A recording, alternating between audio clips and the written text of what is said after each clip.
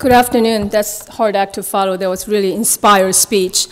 Um, let me first begin by thanking the Global Peace Foundation, Action for Korea United, East West Institute, One Korea Foundation, and the forum's partners for inviting me here today to participate in this very important discussion on One Korea.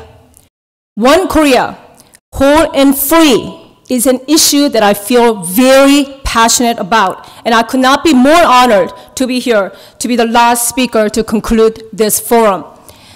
Since the early 1990s, when the North Korean nuclear crisis really began in earnest, the primary objective for US's North Korea policy has been very simple. Get Pyongyang to give up its nuclear program to remove the immediate threat. But I truly believe this approach of to the North Korean problem, making it all about North Korea's nuclear program has been myopic and ineffective. Having followed closely the North Korean issue my whole entire career, I feel I'm pretty convinced that the North Korean regime is never going to transform itself into a country that its citizens or its neighbors can live with. Since coming into power in December 2011, Kim Jong un, the current leader, has been speeding towards completing North Korea's nuclear and missile capabilities that his father and grandfather have pursued at cost of billions of dollars and millions of lives.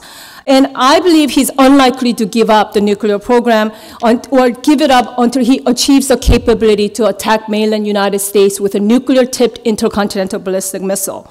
I mean, think about this. In six years in power, he, Kim Jong-un has conducted four nuclear tests and 90 ballistic missile tests. That's double the number that his father and grandfather have tested combined.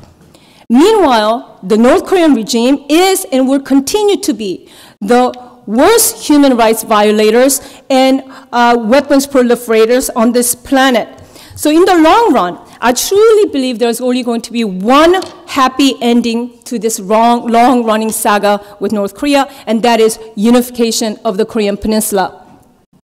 This is why I believe while we continue to ratchet up pressure against the Kim regime by sanctions and other means, our long-term policy and goal should be promoting Korean-led peaceful unification of the Koreas. In fact, all of us really have a stake in doing this um, what we can to promote this eventual outcome. And we will not, this will not only benefit, bring benefit to Korea, but also to the region and to the world from security, economic, and human rights perspective. To some degree, I think the measures we are pursuing, these uh, currently pursuing, strengthening sanctions and other pressure measures, such as transmitting information into North Korea or highlighting North Korean regime's human rights abuses, all help towards the unification efforts. The more we intensify economic pressure against the Kim regime, for example, the more we shake the confidence of the elites and threaten to stir uh, discontent among the very people that Kim relies on for support. The more we enforce sanctions and cut off the money, the more Kim Jong un will be left vulnerable because he will have less foreign currency to under, underwrite the lifestyles of the elites, whose elite and the elite support is essential for Kim to maintain his grip on power. And the more we get information into North Korea from the outside world uh, and break Kim Jong un's information blockade, the more we are able to help build a foundation for eventual unification. And as part of this effort, we may want to think about directing information operation campaign on unification to North Korea. I think this will be particularly important for the North Korean elites who are likely to oppose unification in serious ways. At the time of German unification, the German Ostpolitik, which is Eastern policy, contributed significantly to a to rapprochement between East and Western Germany, especially at the societal level. Um, most East Germans appealed to feel that unification would personally be good for them. They viewed West Germany as more economically advanced and rich, thus anticipated that unification would give them a better economic life. So building positive North Korean post-unification policy or quality of life expectations for the public and even possibly the elites and the military, and getting that message into North Korea would be, I think, very beneficial. At the same time, I think we need to also step up our efforts to uh, highlight North Korea's gulag and other systemic and widespread human rights violations uh, which the UN Commission of Inquiry, in its landmark 400 page report, called it Crimes Against Humanity. Like apartheid South Africa, North Korea is a moral abomination. North Korea is one of the most repressive places on the planet. North Korean human rights abuses constitute a core threat, not just to the people of the North, but also to the region's stability and prosperity, and I believe this threat is as grave as the one that's posed by the regime's nuclear weapons program.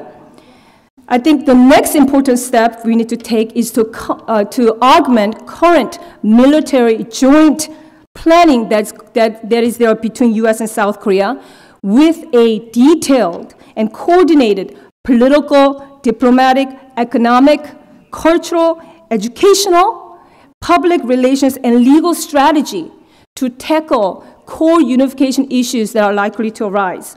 But beyond the US South Korea alliance and moving beyond the Cold War, uh, beyond the confines of the Cold War framework, we also need to begin undertaking a diplomatic effort or diplomatic offensive to gain or to secure regional and global cooperation uh, to support Korean led unification. This effort would involve promoting United Korea's vision and benefits to the government and people of the neighboring countries and key stakeholders, Washington, China, Japan, Russia, and that and to that end, various channels of intergovernmental, uh, public and private diplomacy and civil society engagement, I think, should be utilized. And to win support from the neighboring countries, the Korean-led unification vision should not be just a mere declaration, but, but the neighboring countries should be able to see sufficiently, and what they should be sufficiently convinced that the vision is associated with commitment and workability. So for example, to deal with China's concerns, South Korea could explain to Beijing its plans for unification and what unified Korea's policy might look like. A triangulated policy balancing US and China and contributing to sort of a win-win for peace in the region. Japan too. Japan might look askance at the prospect of unification on the Korean Peninsula, but the Korean Peninsula presents a unique opportunity uh, for Japan. Japan could make important non-military contributions like development, aid, and assistance. And Japanese generosity at such a momentous time in Korean history could help repair the still very fragile relationship between the two countries. The significance of unification diplomacy is already proven by the so-called 2 plus 4 diplomacy, by which Germany secured cooperation uh, of the United States, of the United Kingdom, France, and Soviet Union based on the German, two Germany's unification negotiation. And while Korean-led unification should be supported by regional powers, earning global support for unification is also important.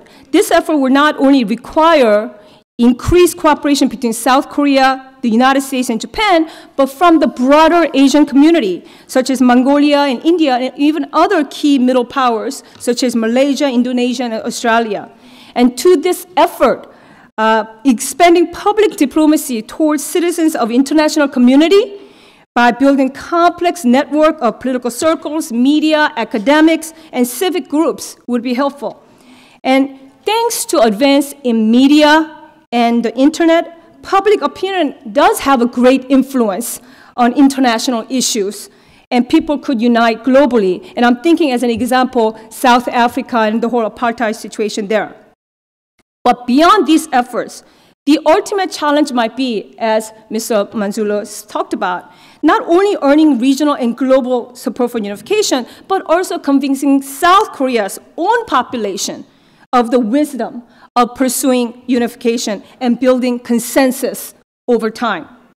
And to, for, and to this end, I think all of, all of you, and particularly our South Korean delegation, could assist in the efforts of persuading the public, your own public, that unified Korea is an investment in the future of the Korean people, something that would benefit the children of those having the, to pay the cost in the short run. So I don't also mean to suggest that unification would be problem free. I'll be the first to admit, and I studied this issue for many years in the intelligence community. I'll be the first to admit that there will be likely many-fold problems that unification could bring, particularly in the short run. Even under the best of circumstances, unification of South and North Korea will be more expensive and more challenging than unification of East and West Germany because the two Koreas are further apart in technology, economies, ideology, and education. But assuming that we handle unification the right way, there is a potential for very happy outcome here. One Korea, whole and free.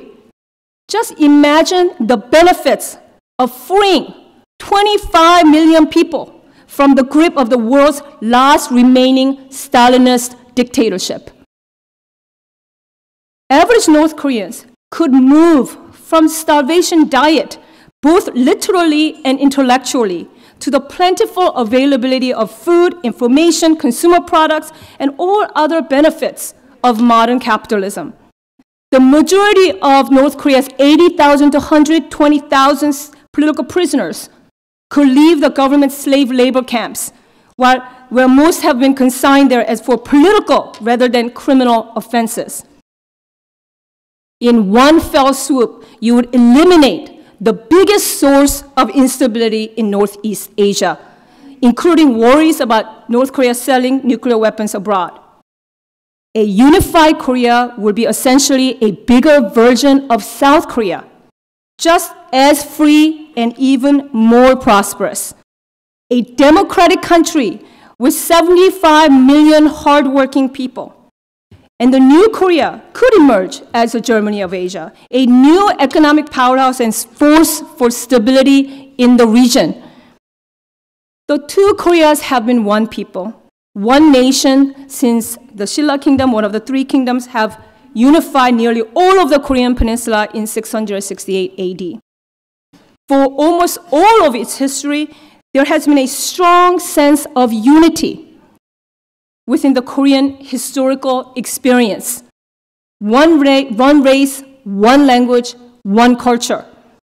This is what makes the current division of the Korean Peninsula into two halves more tragic and an astonishing anomaly in world history.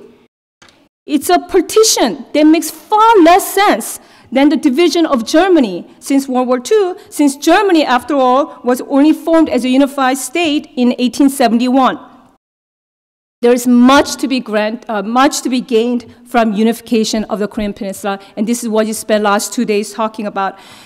So I believe my conclusion is we must confront the prospect of unification with confidence, not trepidation. Thank you.